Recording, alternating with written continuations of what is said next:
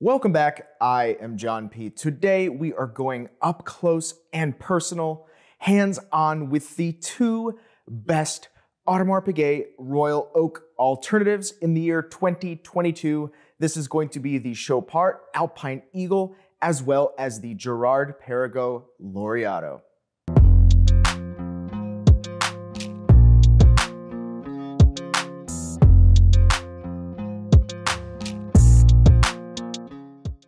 As watch collectors, we know the Audemars Piguet Royal Oak. This is the classic Gerald Genta watch that has gone on to inspire so many countless watches in that sport watch category. Think the integrated bracelet watches, think many popular watches we see today, notably many of them having blue dials, but nonetheless, the Audemars Piguet Royal Oak is a watch that is truly iconic. Now, this watch, along with the Patek Philippe Nautilus, really have gone on to define the entire category that we have today, which includes the two watches we are about to talk about. Now, although there are other watches with similar designs, interestingly enough, these watches have comparable quality to the Audemars Piguet Royal Oak. And with other factors contributing to this situation that we have here, it's really allowed these two watches to become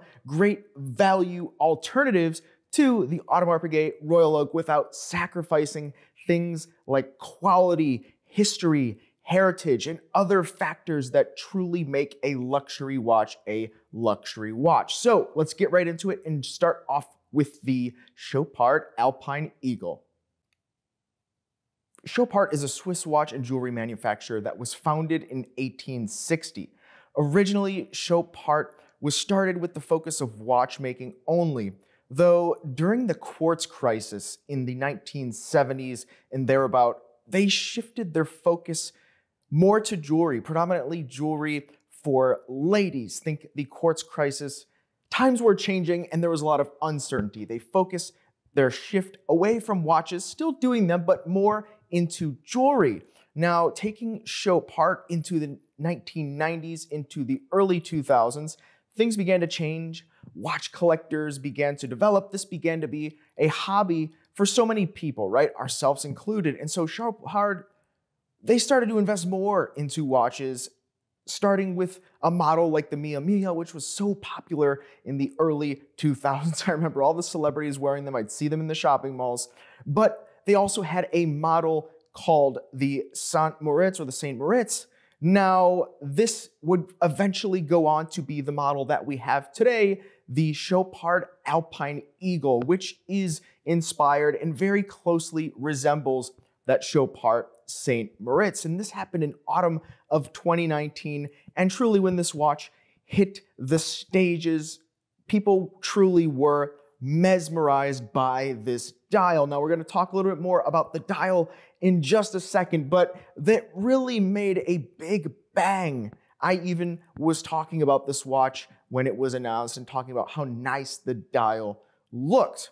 Now, let me just say that the Chopard Alpine Eagle is a very serious watch. It's nothing to be laughed at. Some people like to say, oh, they make jewelry. Well, the brand started making watches, and here they are today making a truly serious watch. Now, looking at the dial on this watch, you can see where the magic really is, right? It's in the dial. The rest of the watch is great, but the dial has it. I could say it all day. But there's something about this dial when the light bounces off and the colors come at you, it changes. It's something very reminiscent of a Grand Seiko uh, in my opinion, though it's distinctly different in some type of way where you know it's not a Grand Seiko. They, they put their own little flair on that textured dial that, in my opinion, is quite incredible. Now, it's not just the dial that makes this watch great, it has a phenomenal movement as well. The movement is actually going to be a Chopard in house caliber, and this is going to be the caliber 01.01C, which is chronometer certified by COSC. So it's a really great movement within a couple seconds per day, either way. And it runs at 28,800 vibrations per hour. if you set it down, the power reserve is going to give you 60 hours. So, certainly more than sufficient. Now, not just the movement is there, also, the case construction is great. It's fine. It's more than fine because Chopard developed their own steel called the Lucent steel. This is what they call the A223, which is at least advertised as 50% more strong than any other steel. Now, even just setting aside a claim like this, because it's a very big claim, right? 50% more strong. What does that mean? I don't think it matters a whole lot, at least in my opinion, because it does feel really nice and smooth and buttery. This is something I like to describe steel on watches as sometimes when it goes above and beyond the finishing that is normal for watches out there. There's something about this lucent steel that they've figured out, whether it's the polishing or the formulation or the metallurgy that was used here. They did something that makes the watch just so nice to wear and not abrasive on the wrist, doesn't pull the hair, it's very comfortable.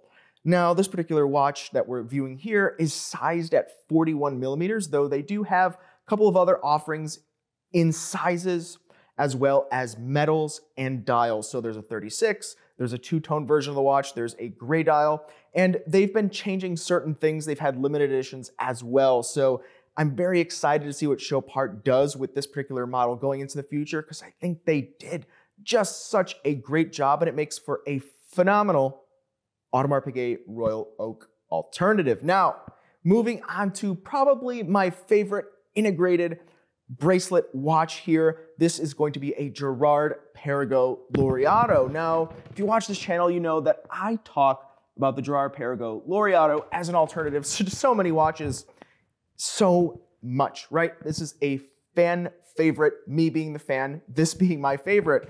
And interestingly enough, the Girard-Perregaux Laureato also has a quite rich history and heritage behind it. This is not a new entrant. This might be a newer brand to be discovered by some collectors because it's not as popular as something like a an Audemars Piguet Royal Oak. But Girard Perregaux started in about 1791, though not using the Girard Perregaux name. Eventually, they took on that name in 1856, but they've been making watches pretty much ever since. They never deviated away. The quartz crisis didn't stop them. They survived all the trials, tests, and tribulations. They're here today and they're back better than ever. Now, the Laureato was launched in 1975, so three years after the Audemars Piguet Royal Oak, which was in 1972. So this was competing directly with the Royal Oak when Girard-Perregaux launched the Laureato, the reference 8010.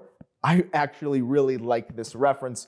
But today, they have a current version of the watch that was launched in the years 2016 going into 2017. That is, of course, not only inspired, but the modern rendition of that Laureato. No, that is what we see here in a 42 millimeter version. Now, there's also a 38 millimeter version, which I personally have owned in the past that I loved and enjoyed, but we're viewing the 42 millimeter version here. Now, right away, you're gonna notice the dial.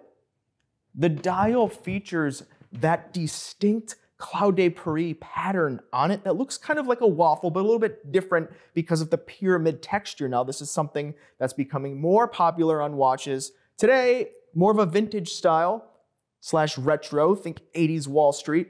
But today, it's even used uh, on the most recent iteration of a Patek Philippe Calatrava. There'll be a picture here. So this is a pattern that's coming back, and Girard-Perregaux may have been the first modern user of this pattern once again. I'll have to fact check myself on that, but they've certainly gotten it back into the collector's eye. Now, the Girard-Perregaux Laureato, once again, it has a very fine movement attached, much like the Chopard that runs it. This is going to be the GP01800 movement, which does feature a 54 hour power reserve. And much like the movement on the Chopard, it's going to be very finely decorated. It's going to be of something that you would expect for a watch that is north of 10,000 US dollars. Now, overall, the watch does wear very nice and comfortably on the wrist. Side by side comparison, you can kind of see a difference in thickness there between both of the watches. The steel on the Laureato, I'll interject my opinion, it's not polished to the same kind of refinement as something like the Chopard Alpine Eagle, but that's just a more polished, shiny watch, which is probably intended less for sporting than something like the Laureato is, which gives off, in my opinion, more rugged kind of uh, aesthetic and vibes. So here we have it. This has been the Girard Perregaux Laureato as well as the Chopard Alpine Eagle. My choices for the two best alternatives to the Audemars Piguet Royal Oak in the year 2022. But why did they make the list? Aside from the fact that the Laureato happens to be one of my favorite watches, well, the reality is both of these watches have the heritage, right? Both of these watches have the history behind the brands and the models. They both have quality cases, really well finished cases, and the quality of the steel, let's not forget. Also, the movements are finely decorated, even though these are sporting watches. The dials are both excellent, something unique. They're not just plain flat dials. Extra textures were added and used. I like them. And also, they both have the integrated bracelet design and that type of interesting shaped bezel, which makes it the Audemars Piguet Royal Oak alternative. Now, these have been my choices, but what are yours? Do you have an Audemars Piguet Royal Oak alternative or maybe you're just not a fan of the integrated design, and that's okay too. I would love to see it and hear it in the comments below. Please do not forget to check out delraywatch.com, where at least in the shooting of this video, we had these watches in stock. And do not forget to check me out on Instagram, The Real John P. Thanks, guys. We'll see you next time. You've been chatting with John P.